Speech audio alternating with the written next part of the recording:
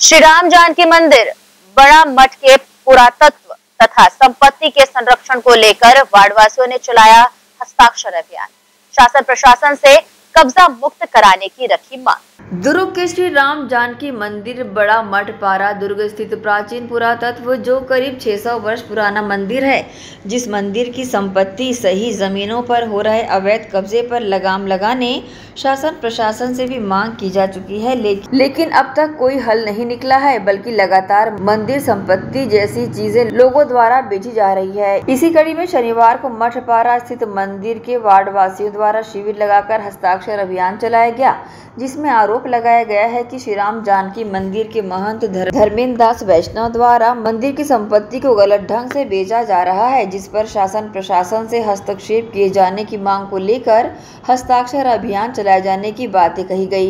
यहाँ खड़े हैं दुर्ग नगर की हृदय स्थल चंडी चौक, माँ चंडी मंदिर के चौक पे खड़े हैं और यहाँ पे एक ऐतिहासिक धरोहर, श्री राम जानकी मंदिर, बड़े मठ। जो लगभग 600 वर्षों से एक पुरातात्विक धरोहर है।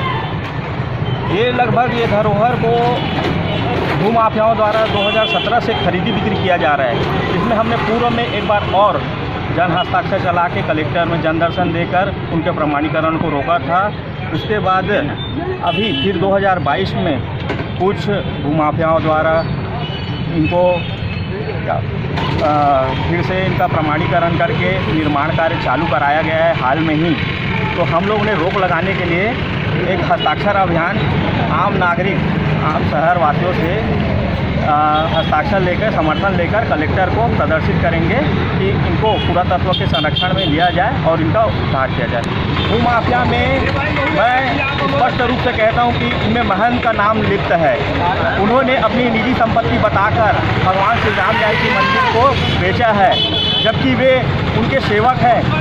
उन संपत्ति के मालिक नहीं हैं वो। और वो हम अतिशीघ्र रोकने का प्रयास करने के लिए हस्ताक्षर अभियान चला रहे हैं।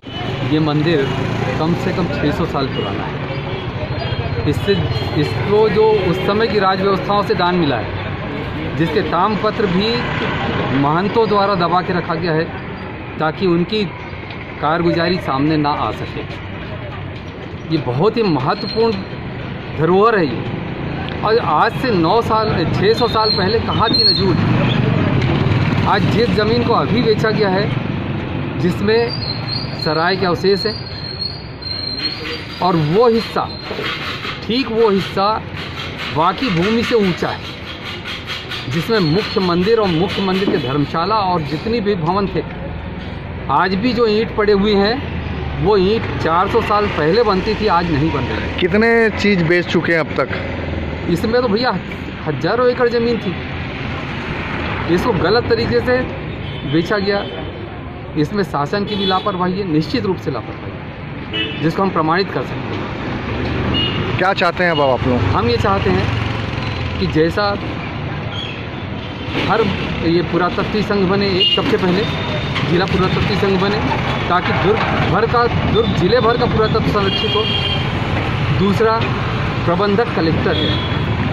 वो भी सिर्फ़ इसीलिए बनाया गया है प्रबंधक कलेक्टर कि ताकि भगवान की ज़मीन जो कि हिंदू ला में अप्राप्य व्ययता एवं संरक्षित अधिनियम के अंतर्गत सुरक्षित है। और चूँकि अब भगवान नाबालिग माना गया है उसकी संपत्ति के संरक्षण के लिए ही कलेक्टर को प्रबंधक बनाया गया ताकि उनकी संपत्ति का इधर उधर ना हो सके। तो हम ये चाहते हैं कलेक्टर अपने प्रबंधन में लेके और यहाँ की संपत्ति भी सुरक्षित करें और ये संपत्ति जो है भगवान की संपत्ति समाज की है समाज के हित में उपयोग आए व्यक्तिगत उपयोग उपयोग में ना आए। ठीक है अपना परिचय बताओ। मैं अरुण गुप्ता सजग प्रयास दुर्ग हमारा सजग प्रयास 2012 से बारह में जैसे हम लोग ये आंदोलन चला रहे इसके पहले हम लोग 2017 में भी हस्ताक्षर अभियान चलाया था। हम हस्ताक्षर पे इसलिए चलाए थे क्योंकि वो जानकारी मिली थी हमको ज़मीन बिक्री हुई है। और ज़मीन बिक्री हुई है महंत यहाँ का जो सरवरागार महंत धर्मेंद्र दास वैष्णव वो विक्रेता उपस्थित होकर विक्रेतागणों को बिक्री की है। उसके अलावा वो विक्रेता होकर आम मुख्तियारनामा शिव कुमार वैष्णव को दिए। शिव कुमार वैष्णव ने भी उपस्थित होकर यहाँ ज़मीन की रजिस्ट्री करी। हज़ार पाँच सौ स्क्वायर फीट की ज़मीन की रजिस्ट्री हुई।